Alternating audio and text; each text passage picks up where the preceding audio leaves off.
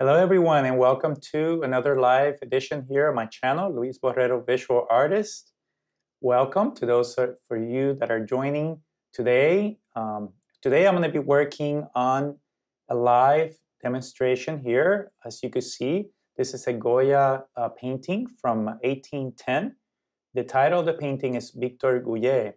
And uh, I believe that there's another demonstration that I uploaded to the channel uh, detailing just the ground and the initial lay-in of this painting.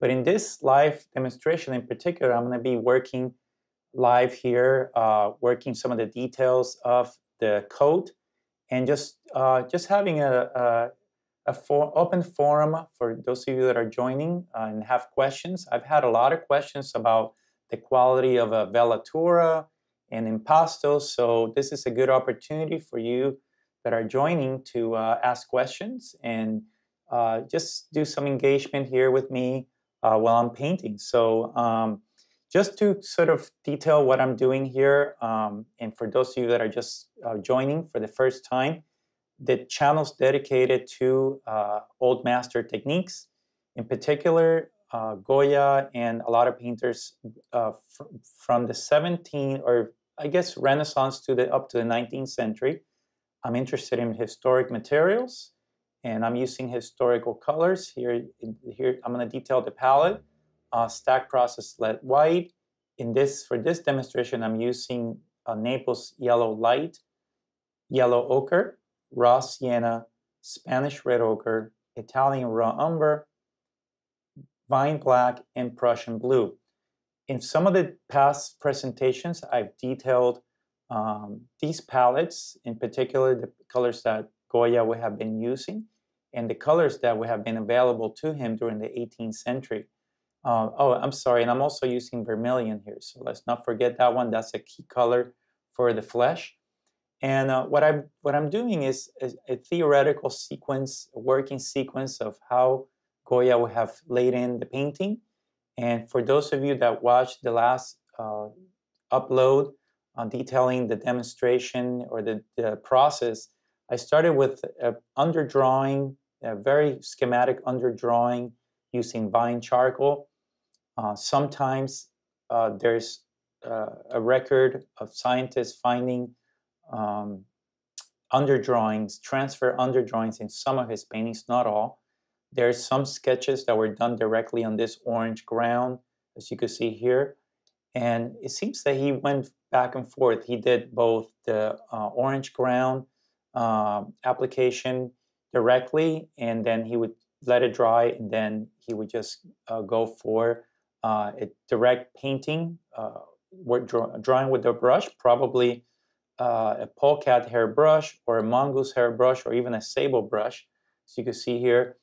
And it seems that he was very direct, working directly with the brush, and he would just build up the painting much like Velázquez or even a Venetian painter.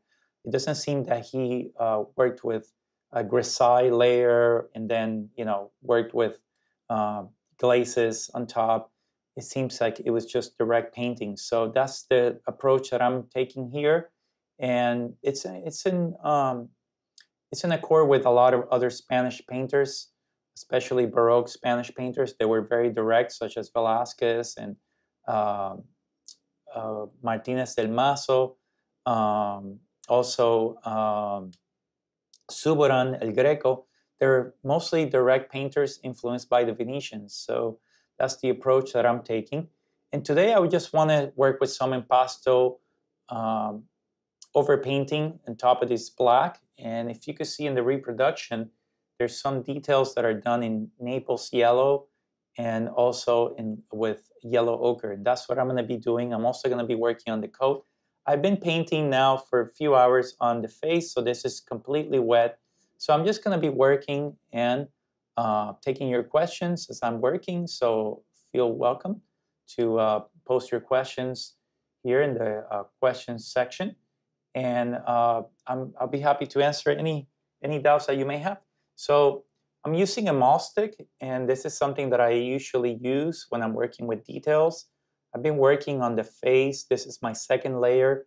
I worked with uh, vermilion, lead white, yellow ochre, and a little bit of black mixed with a little bit of Prussian blue just to get my cooler tones. And the reproduction looks a lot warmer and it's because my the camera is uh, essentially um, doing creating a distortion in the color, but the color is a lot more subtle, but it is overexposing the color a little bit. So, um, so let's just go ahead and uh, just start establishing some color here, especially in the collar. And I'm going to make some the, the colors mostly approached with impasto. I'm mixing a little bit of Prussian blue with a little bit of this yellow ochre just to get this sort of greenish color. So, and a little bit of vine black. Now one somewhat of a thick paint here. And let's see, this area seems like he applied the paint pretty thickly and it's like a greenish grayish color. And this is just directly over the ground. I'm using a sable brush. Why am I using a sable brush? Well, I find that a lot of the impasto qualities of some of these old paintings I could achieve better with just using the side of the brush, particularly a sable brush. And just gives you a really nice breaks up the paint quite nicely, especially with the lead white. And by using the side of the brush, I can just enforce, for those of you that are joining for the first time, um, welcome to my channel. I just want to remind everyone to subscribe. If you haven't subscribed to my channel, make sure to subscribe if you're enjoying the content and share the content with your friends.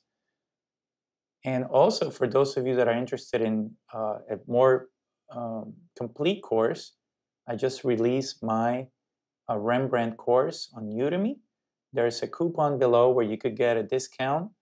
So make sure to check that uh, link in the description below. You could find that coupon.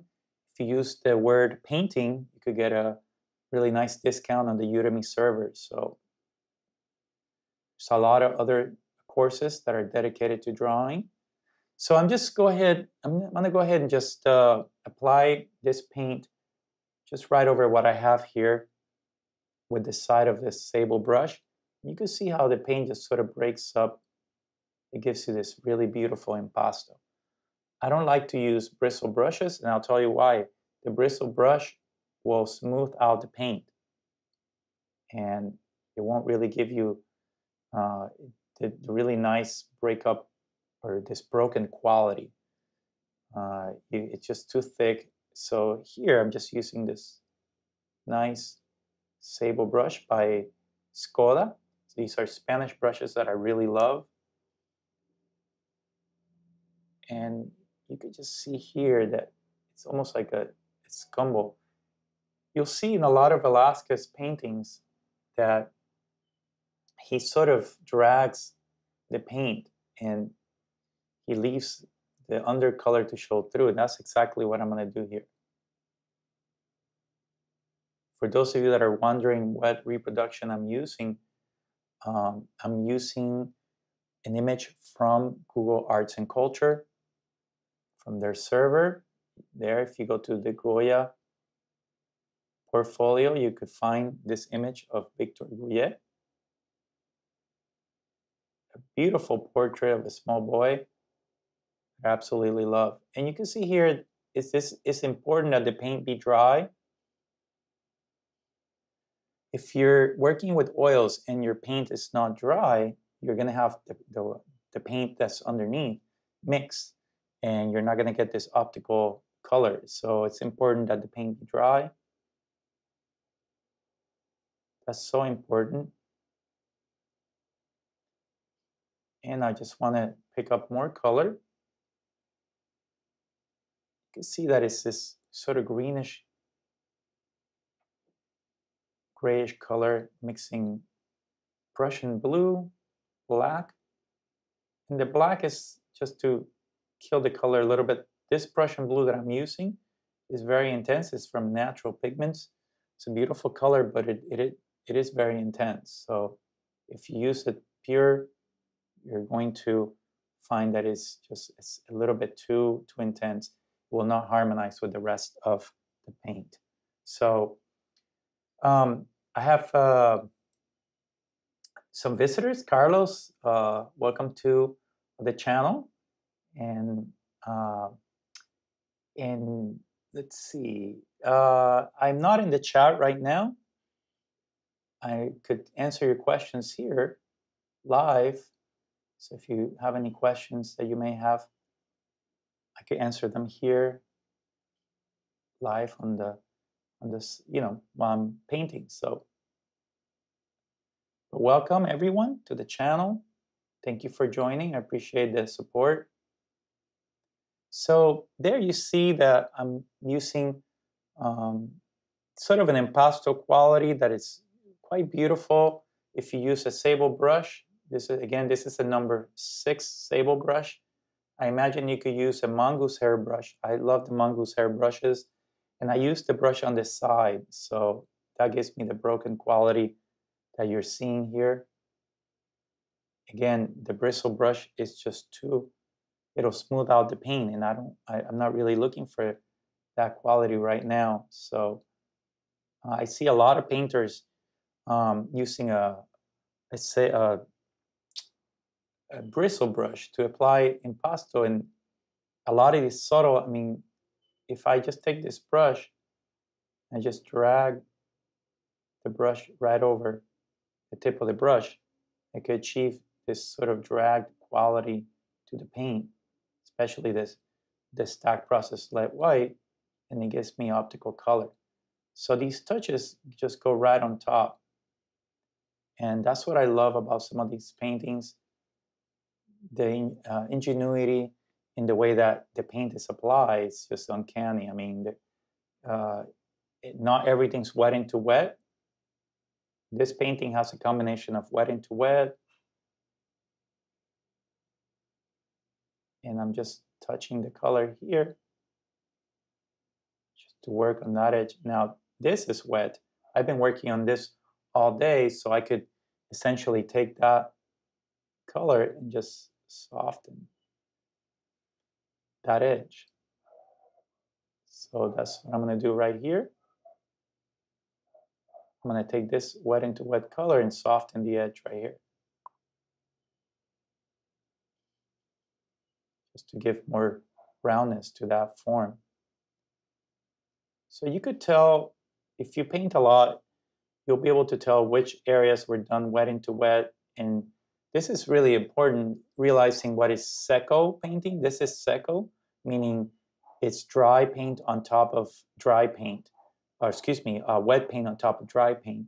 And then wet into wet is essentially working into a couch, which is essentially maybe putting a, some sort of medium and working up your second layer. So this is this was done uh, wet into wet. This has been uh, applied uh, secco.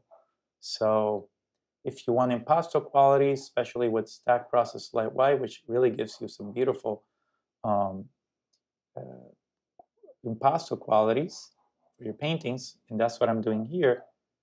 I'm going to go ahead and apply some of those tones by just dragging the paint the side of the brush.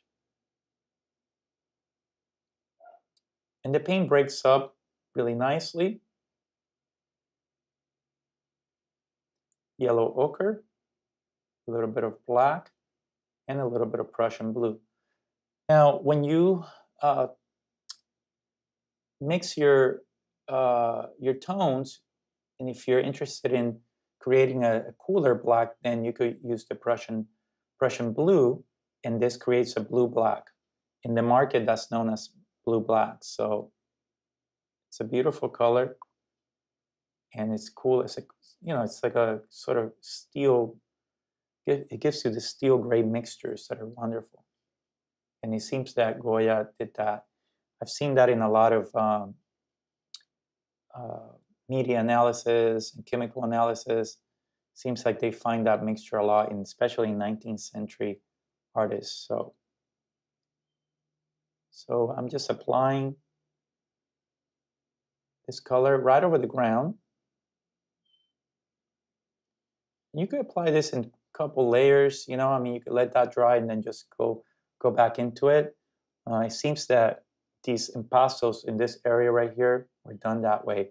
So that's what I'm going to be doing. I'm going to be applying some touches of yellow ochre and uh, Naples yellow, and that'll give me that the, the appearance of sort of a brocade pattern or some sort of gold um, embellishment to the to the coat. So you see that in a lot of Rembrandt paintings. They use the impasto to create the details. It's a beautiful technique. And I highly recommend the use of um, a sable brush or a uh, polecat hairbrush uh, or a mongoose hairbrush to that. Again, by using the side of the brush. By the way, um, I just released my Rembrandt course. A lot of you have purchased this course. I want to be, uh, you know, uh, very adamant about being thankful uh, for your wonderful support. And I know a lot of you have been writing about the course, and I finally was able to release it. So thank you for your support. For those of you that are interested, check out the link below, and uh, you could get a discount. Um, let's see. Uh, well, thank you. Uh, Mastery, I believe, is coming by. Thank you for your visit once again. And uh, thank you for your feedback. Um, it says here, will you apply a wash to the face after it dries to tint it down? So that's a good question. And yes, the the face, uh, what I what I'm doing right now is applying uh, more opaque paint uh, in the second layer. And one thing that happens with the, the, the reddish ground, unfortunately, is that the paint will die, will sink in, and the tones will no longer be as bright as the, in the first layer. And um, uh, the varnish will also uh, create this sort of you know yellowish quality to to the paint. So um, it's sort of best to uh, let the paint dry and gauge to see if the values are too light, and from there see how the paint is going to age because this ground is um, notorious for uh, darkening because of the, if you have red, you know, a reddish color underneath, and thin layers of flesh color on top. So that's why uh, the paint, uh, the uh, a lot of um, academies did away with the red ochre ground because it, the paintings do darken more significantly more than uh, the lighter ground. So um, the painting that you see of Goya's is probably aged, and you know there's a varnish there. So um, it's and also I also have three or four lights over this painting. So if you were to see this painting in a re, re, you know regular light, daylight, um, the tone would not be as bright because the LED light is reflecting a lot of the, the lights that I have for the video. So uh, it does seem much more darker. But if you wanted to, if you got too light, you could essentially take it back and then repaint it. Um, but that's essentially, you know, uh, if you're uh, looking for a very dark painting, which in this case I know that is probably not the case. I mean, the, the painting, I've seen this painting in Washington, and it seems that the, the color is very bright. So, uh, or the whites are much whiter than you know they appear in the reproduction. So, um, yeah, that's thank you for your question though and your concern. That's uh, that's a good good uh, good feedback there to uh, sort of um, you know let viewers know that there is there, there is a, a, shift in the tones and the LED light is very reflective of light. So the more lights that you have on here to get the exposure of the video, the more light is going to reflect back into the camera. So, okay, so let's just continue here. And I've had a lot of questions um, from the viewers, the subscribers, asking me about velatura and paint qualities. And I just want to um, tell you about this. Now, I, I never paint my flesh tones as a wash, okay? I usually, especially in something like this, is very, uh, there, there's body paint on there. And I am using a couch of oil and working into that. And in some areas, the paint will be thinner. But I consider that velatura, not a glaze. Velatura what is the difference? A glaze, the background is essentially glazed. There's no white you're using I'm using the red of the ground uh, to let the you know to let that red show through over the black, or excuse me, underneath the black. Um, so that I consider that a glaze. But the white paint or the lighter color paint uh, is not a glaze. It's a velatura because it has white. So you really want to uh, be able to capture the flesh tone in a sort of a cool, cooler tone and in semi-translucent and opaque tones. So uh, if I come over here and I just apply, for example, some flesh tone, you'll realize that it's quite opaque. You know, I'm, I'm putting these lights and they're covering the surface, but not entirely. And that is the quality of the velatura. And to do that, you need some uh, uh, lead white, essentially. I mean, the lead white is translucent when applied thinly and very opaquely when applied thickly. That's what I'm doing with the impastos over here in the shirt, for example. So by just applying the paint thickly, which I'm going to do right here, I could just pick up with the tip of the brush this color and create a, a you know a, a, an opacity. Now, if you want a translucency, well, you just you could either just wipe the excess of your brush and then just come back here and just apply the color by just dragging it and that creates a translucent quality so this is something that you see um, Velasquez do you'll see that in some areas of his painting he's just sort of there's a lot of brush marks where he's cleaning the brush well he's doing that to be able to get the the velatura effect um, so if I wanted to, for example, go back into the face, I don't want to mix any oil into the paint. I just want to wipe the excess paint and just come back in here and just create a velatura. That's essentially a velatura right there. It's so subtle that the camera may not even pick it up, but it's just a, a beautiful a translucent quality to the white. And that's difficult to do with lead, uh, excuse me, with titanium white. You see that uh, effect in a lot of the old master paintings. It's the velatura uh, being applied with the lead white. And also, if you are working, uh, you know, passages that are very soft, you could use a squirrel hair brush and just create an even thinner effect by just sort of fusing the paint together. I like to call I like to uh, name this fusing together, not so much blending, because it's you're not really blending the colors. What you're doing is you're you're just softening the transitions. So the colors are being mixed on the palette; they're being applied on the the surface. So, for example, if my brushwork gets too crazy here, I could with the form, I could just thin it and create this very beautiful soft effect.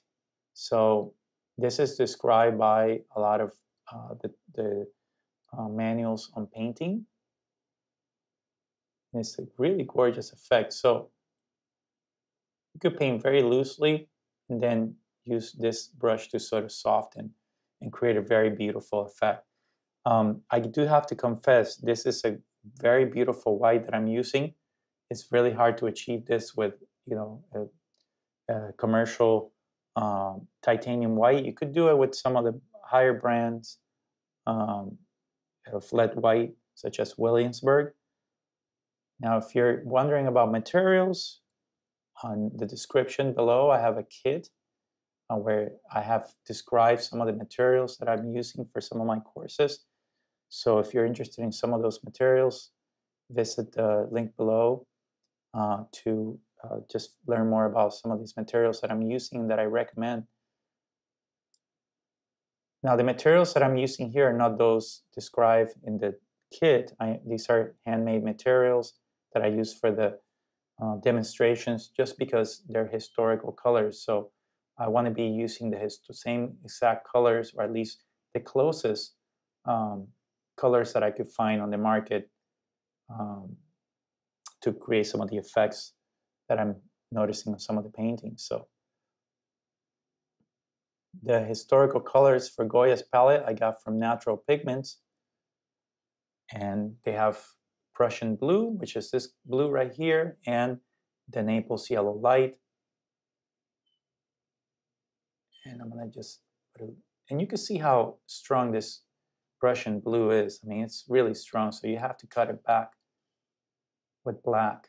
Otherwise, it'll just, it's not gonna harmonize nicely with this very muted colors. So I'm using that Prussian blue for this bluish greenish color here.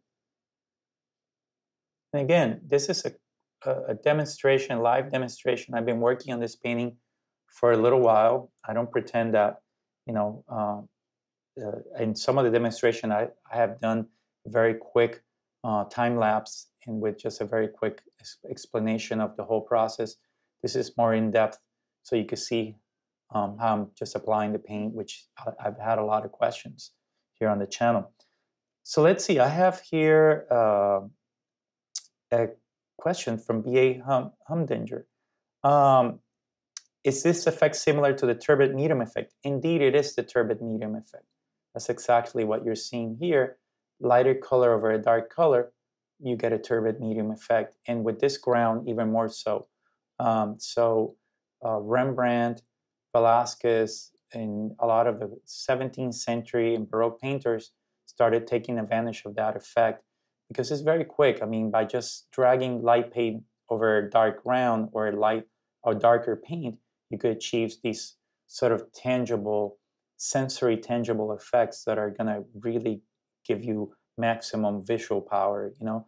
So, and even without much rendering here, you get, you get to see that how uh, this sort of creates um, a sensory effect on the surface. And that, that really is specifically with the impasto. So from a distance, you get a sense that that is some, you know, some sort of fabric. So that's what I love about some of these techniques that are just really, uh, you know, they're sort of, um, they're descriptive of textures without you actually having to spend hours and hours uh, modeling, you know, every detail. So um, that's essentially what, when you look at Venetian painting, that's their gift to us. I like to think of it that way. So, um, and let's see, I'm gonna just continue to apply some of these. Let's see, probably I need a darker value here. And again, I don't pretend that this is a full course. By no means. I, I, I have a disclaimer about it. I'm making this disclaimer here. This is not a, a painting course. This is, this is just an introduction um, to some of these techniques. These are very complex techniques, and I've spent years researching a lot of this information. And I'd like to share it with you guys um, to an audience that is, you know, uh, receptive to the information. And uh, I really love the engagement that I get from you guys. So I really appreciate that. That's really great. You guys are following the channel and asking your questions. So, and it could help a lot of you, uh, you know, just discover new ways of working. So that's that's essentially uh, one of the reasons that I that I like sharing a lot of this information. So, so again, I'm uh, wanting to create this nice tangible feel to the paint. And here, by over painting or applying the paint just directly over, over that area, just with the tip of the brush, I'm able to create some of those beautiful effects that Goya's uh, achieving in his his uh, in his beautiful painting of Victor Guye. So the side of the brush is really uh, using the side of the brush is, is really going to help you a lot.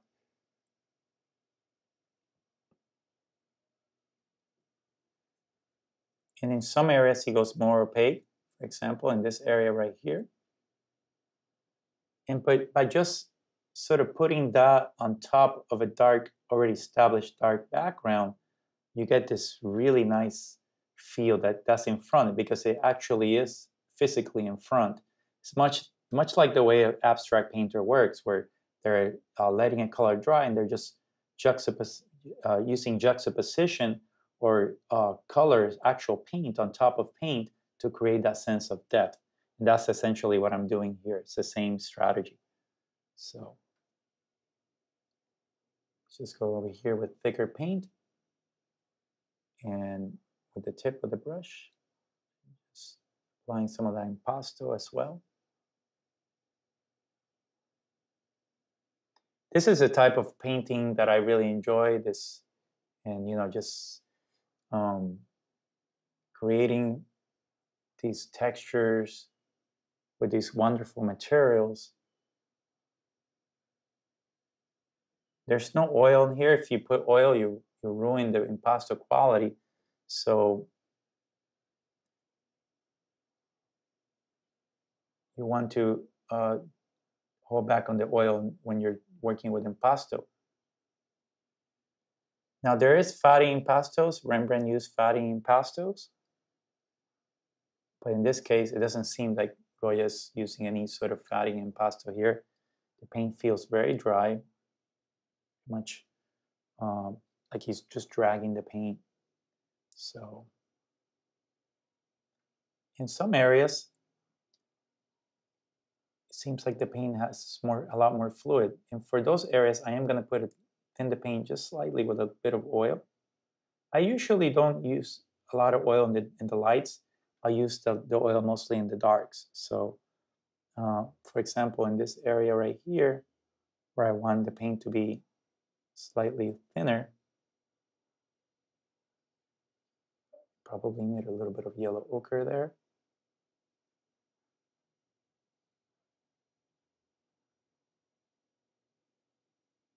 And same here, this area.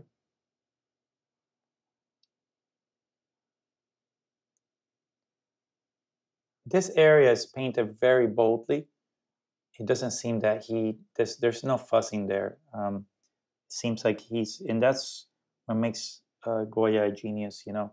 He's um, painting with a lot of bravura, as the Spaniards called it, and just achieving some beautiful effects. All right, so now what I want to do is I'm going to just try to achieve some of these effects here by mixing let, nope, Naples yellow. Sometimes I get confused. This almost feels like lead tin yellow. Very similar. This one seems brighter though than the lead tin yellow. And I tested this mixture out before and I researched it. Yellow ochre and Naples yellow gives you this sort of beautiful lemon color. And it just with the tip of the brush, just gonna lay it right on top. And it seems that he used, um, there's like maybe two or three layers. Um, I'm probably gonna have to go back at some point. Uh, this is, it, it, to me, it seems like there's yellow, but underneath the yellow, there's also uh, sort of some sort of lead white. So he just sort of retouches um, on top with the brighter color. So let's just try that strategy. Makes another tone here.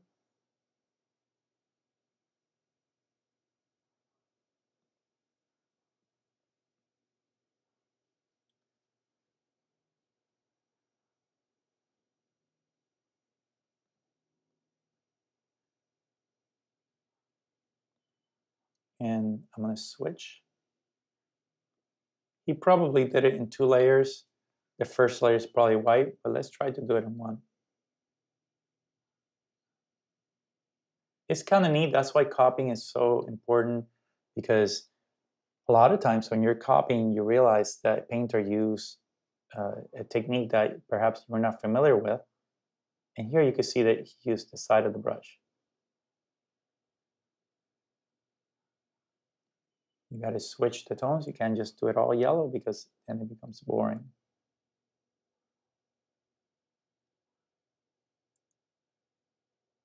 Let's paint painted right on top.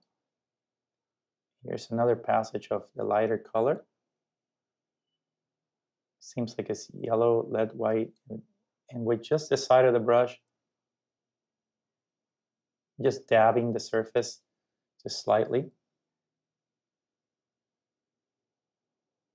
Again, what's underneath is dried already. So that's important that uh, you, you take that into account because you don't want to work and it's, it's translucent.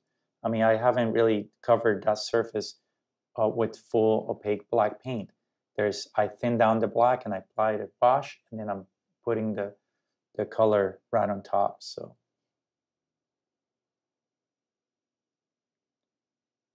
And I don't pretend to copy this exactly because these are this this depends on a lot of accident here so. But let's try. Seems like there's there's these details so these dots. And that's why paintings are so unique i mean it's this is a combination of the artist um, calligraphy with you know whatever color he mixed or was able to achieve. So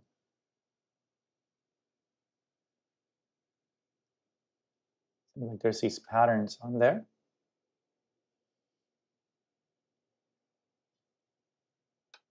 It's a beautiful beautiful painting. I really love goya and his uh, technique of impasto and just glazes it doesn't seem like he glazed much, but there is evidence that in some areas early on he did glaze. So, and the use of black, like a lot of these masters, is just uncanny. I mean, they use black everywhere. So let's just come over here and create this really nice. And again, I'm picking up the paint with the tip of my brush there I'm, it seems like you sort of move the brush like this in a round, two round strokes to create that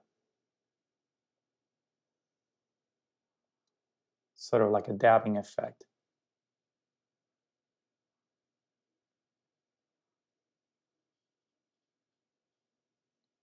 There's layers there. I mean, that's I'm probably the best course of actions perhaps to let that dry and then to layer on top. So Let's see. Um, I have another question from Humdinger. Okay, so I think this is a stronger portrait without the gold stitching on the clothing. Uh, if it wasn't a study, would you agree? Um, so it's that's interesting. Um, I think that, uh, believe it or not, these um, these portraits uh, are it seems that the Spaniards are very interested in el decoro. El decoro is, uh, in, in English, is, I guess you could translate it to decorum. And Pacheco, uh, in his Arte de la Pintura, describes it as a uh, as an order of things, as a um, as a as the good taste, uh, and their uh, their painting, the Sp- Spanish painting seems to be very simple compared to a lot of Italian paintings. And it seems like they use accent a lot. It's, uh, you know, this, the idea of painted strokes like this reminds me very much of the way that we speak Spanish. We, in Spanish, we have a lot of accents, you know, in the words um, need, you know, emphasis here and there and Spanish painting sort of mimics that. I mean, when you look at this portrait, this is sort of like the, the visual stimulus that is sort of um, balancing this very sort of sterile portrait because the if you look at the portrait on Google Arts and Culture, it's a sort of very sterile, very empty portrait, and he sort of anim- animates the surface with these touches. Now, I, I love Goya for that, and uh, I've seen these paintings in person. They're very, very successful. Um, he's he's a lot more. Um, I believe that his painting is probably closer to Rembrandt, where he was looking at these effects and really sort of creating visual stimulus. Um, uh, more so than Velasquez. Velasquez is more elegance, you know, and movement, uh, and the way that he drew was elegant in itself. And it seems like Goya here is just just really trying to create that visual, you know, that visual poetry by uh, something unlikely like this. I mean, it's not fully rendered, and from a distance, it, you know, it sits in its in the right place. So uh, that's my opinion about it. But you know, Goya is not for everyone. I will say, I had um, I I had a, a, group of friends at the academy that did not like Goya, and if they're around, I, I I'm I'm not going to mention any names, but I I love Goya, and uh, what I love about Goya is that he's not he's about visual poetry, and he's he's closer to uh, something like Cervantes, and not so much like you know. Um, he's not. He was rejecting a lot of 19th century academic ideals. Um, he the French invaded Spain, and uh, he, although he worked for the French, he was opposed to their occupation of Spain. So his painting is very, um, very Spanish and very. It's almost like a painting of a protest. You know, um, he wasn't gonna use a f- academic French style. Uh, he rejects that, and um, that was what the French had uh, had promoted. You know, with the the through the French Academy of the 19th century. So that's interesting to analyze. You know, and uh, his his influence sort of persists today, specifically with modern painters, which love Goya. I mean, they believe that he was a visionary and he didn't abide by the academy, you know, and that's that's something very powerful. I mean, I, I love his work. Uh, I, although I love classical painting, I will be the first one to tell you that, you know, um, for every rule that I could tell you, there's a million ways to to break those rules. So, um, and he certainly did. I believe he was trying to do that. He was just trying to push the limits of his art in an age where you know um, there were a lot of uh, political problems, you know, and and a lot of oppression. So, and a lot of changes in the world, you know is the age of enlightenment and he was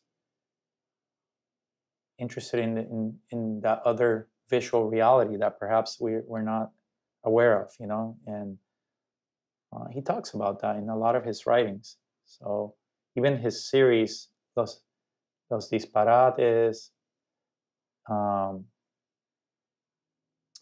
Los Desastres de la Guerra, know, those are are uh, powerful series etchings. So here I'm just uh, touching on, on either side. I'm going to go to the other side. And again, these are just quick touches. Um, I have to be very focused on the drawing here because in two seconds this could look really, really bad.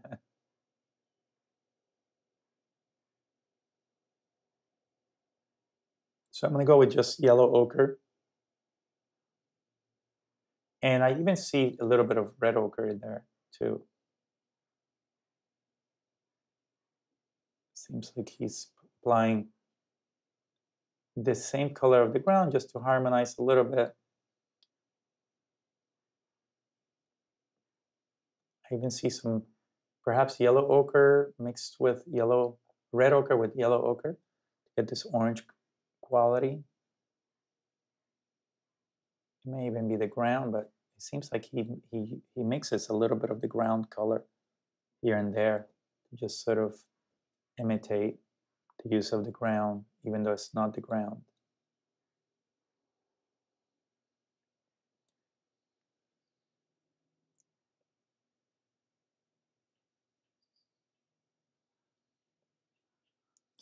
Certainly, Goya is not for everyone, um, and uh, I know that the art establishment really loves Goya, but a lot of uh, ateliers have rejected his painting as you know, I, have had a lot. I've I have actually had uh, students tell me that they they don't think he could draw well, and uh, I just laugh because uh, I wish I could draw like this.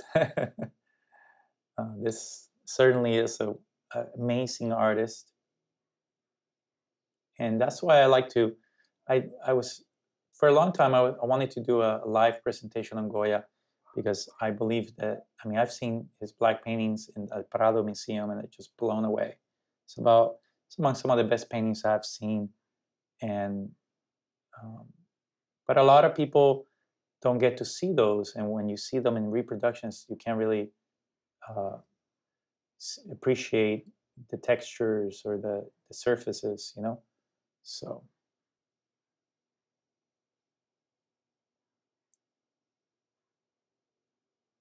So I'm just trying to put these touches here. And I'm going to go with the white lead and yellow ochre. And this is just an issue of drawing now. I mean, it, it's essentially just drawing with a brush and just hoping that the accidental strokes fall into place there. And, you know, it's, it, it seems that he most likely does this with multiple layers. So but just to show you, I mean, you could let this dry and then retouch it again if you're interested in copying this, this painting.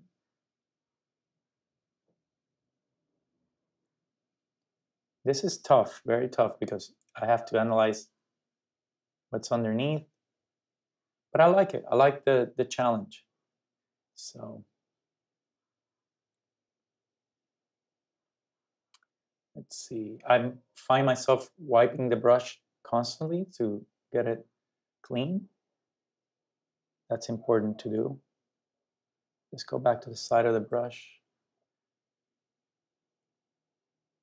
So I've had some questions about Titian's uh, working method, and I'm going to be addressing uh, his techniques in an upcoming video.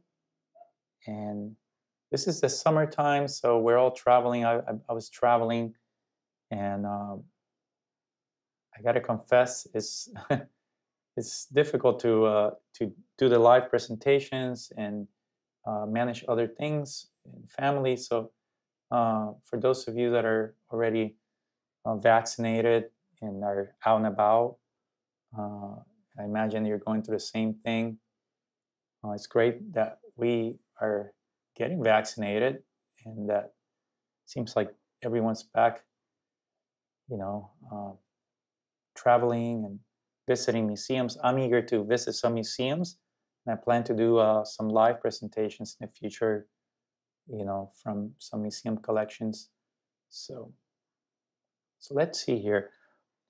I probably want to get some of this pattern here.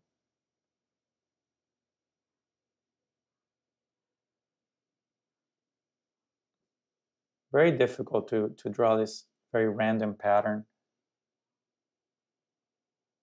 And I'll probably have to work this over many sessions to get it finished. But I just wanted to, I've had a lot of, um, a lot of subscribers ask about impasto and how to do details. And this is essentially a strategy that was used by a lot of painters just to paint right on top and create this, uh, um, you know, just very sort of solid effect with the impasto by juxtap- juxtapos- the juxtaposition of the color.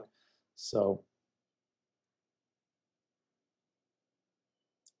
not all of it is wet into wet. Uh, oil painting takes a lot of patience. So okay. And I plan to do a course for those of you that are joining. I plan to do a course uh, this coming semester or a live course where I'll be uh, working on these copies. I have four copies that I'm going to be uh, doing. I'm going to be working with the Titian, uh, Murillo, uh, Bouguereau painting, and uh, in Rubens. And this is a semester long course uh, if you're interested in that information, you could just uh, log on to ateliersanjuan.org and you can find out more information about that full semester course. Uh, the course will include uh, the preparation of the layers, you know, the each uh, ground, um, how it was prepared. Uh, so it's four different schools of painting. So I'm going to be working with a few students. I have a lot of students signed up. So um, make sure to log on and, and check that those links out if you're interested. So the, this um, Naples yellow seems to be a wonderful dryer. That's an advantage and a disadvantage in this case because it seems like the color just gets really, really tacky very quickly, which is great for impasto, but probably not so great if you're modeling flesh or something. So just be aware of that if you're interested in purchasing that color. It's probably a good option if you're wanting to, you know, work on this in the morning and then in the afternoon retouch it. So it's probably a good way to work in one single session on, on something like this. So I'm just find myself putting these strokes just to imitate the brocade pattern. Seems like it's a gold, brocade gold, or brocaded gold, or something like that. And it's really beautiful effect over the dark uh, surface underneath. So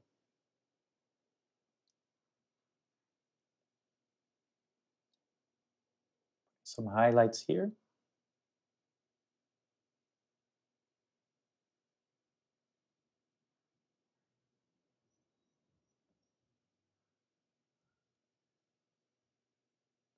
Now I think that his paint was probably, and it seems like there's even some color that has been mixed in, uh, some bluish color that has been mixed in. So it could be that he worked over uh, a, a, layer of Prussian blue um, because I see some bluish undertones.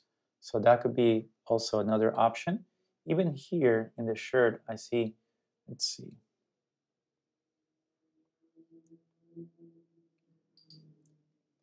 And again, if you have any questions, you could post your question here on the, in the questions section. So this is a unusual live presentation where I'm painting, but I just wanted to sort of share the process with you guys that I'm using for this painting. I'm using a little bit of Prussian blue here in the shirt. I do see some Prussian blue. And let's see. Probably this is further down, so you probably don't see that detail. But I do see some Prussian blue. It seems like the black was definitely mixed with Prussian blue. So let's just lay some color here with Prussian blue.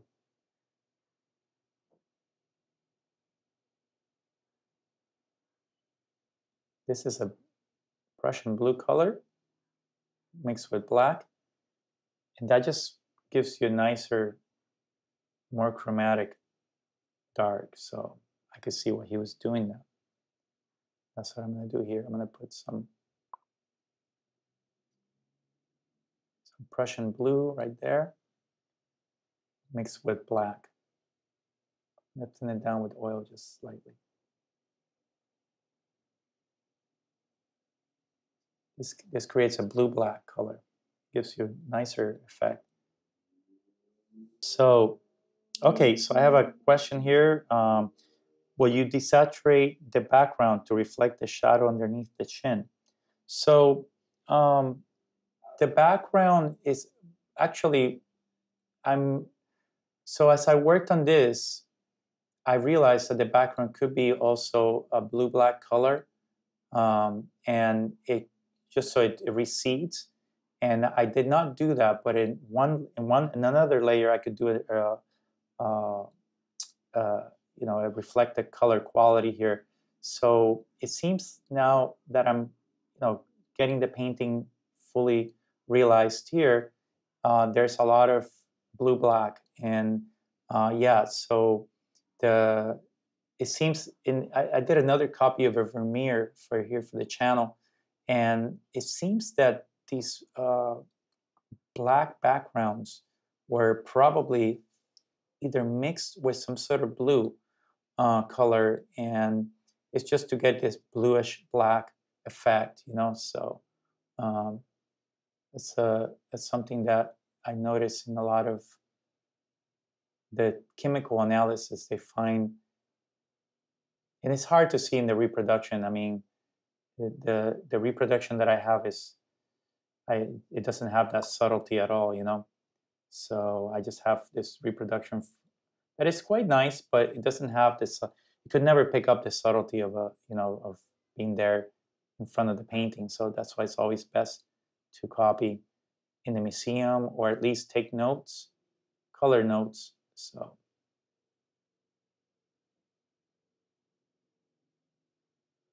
some and the camera cannot i mean it, my camera is uh, it's oversaturating. This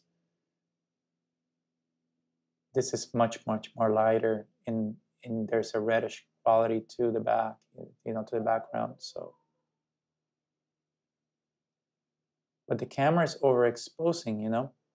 So it's overexposing this and underexposing that so in at, at some point in the future, perhaps an investment in a camera with a higher dynamic range would, would really help me uh, be able to demonstrate some of these subtleties. So I'm retouching some of these areas with the blue black. And I demonstrated how to make this color, the Prussian blue. It's a really beautiful color for those of you that are interested in creating a a nice uh, a color a blue that is not so intense, especially for this uh, more monochromatic paintings. Doesn't seem like this, you know, somebody like Goya was working with a lot of color, at least not later on in his life. Early on, he was he was working with brighter colors, but as he got older, his his palette, much like Rembrandt, became a lot more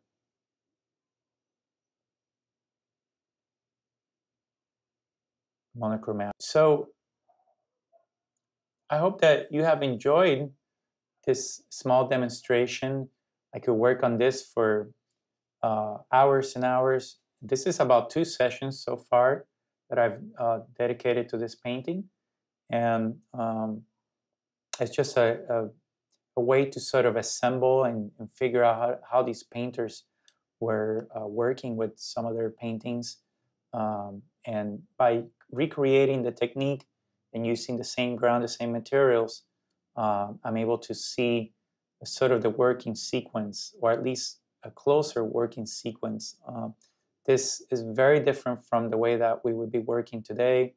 Um, an alla prima painter would you know make short work of this in an hour to, uh, well probably three hours but that's not the paint the way that this painting was worked. I mean it seems that goya let areas dry and then he repainted on top.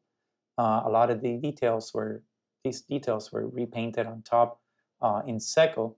And um, there is one little detail. Goya mentions the use of a heat bodied oil with lead with litharge I am using that oil. I did use that oil to oil out and down with um, uh, minerals, not mineral spirit, excuse me, spike oil of lavender.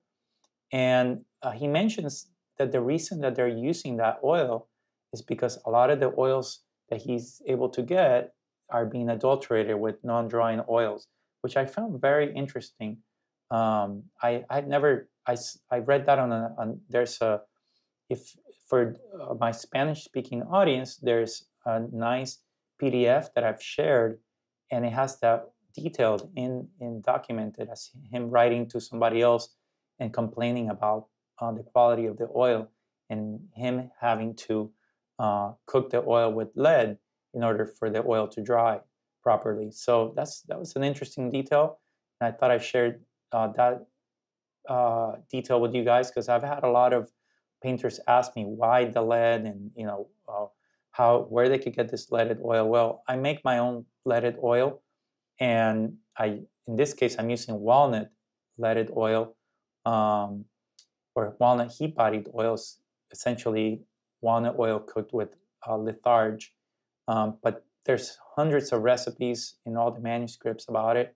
So you could find a lot of recipes, or you could, if you log on to uh, some of the websites that I've shared, uh, like Kremer Pigments, Seki, or even Natural Pigments, they sell this type of oil. So it's very useful because the paint will dry very quickly. Um, so, well, I hope you've enjoyed the presentation, and I'm going to be uh, sharing um, some of the links below in the description below. And for those of you, again, that are coming by and commenting and sharing your questions, I really appreciate the support. I really appreciate the visit. Uh, we will continue with more demonstrations in the future. And for those of you that are looking for more uh, structured course uh, with uh, you know different chapters and progressive steps, check out my courses on Udemy. I have four courses available. I just released my new Rembrandt course. And for those of you that are looking for a live presentation course with critiques, live critiques, and uh, semester uh, assignments, uh, semester long courses, you could log on to ateliersanjuan.org or just write me a private message. All right, well, I hope you guys have a great weekend. Thanks again for joining. Take care. Have a good one.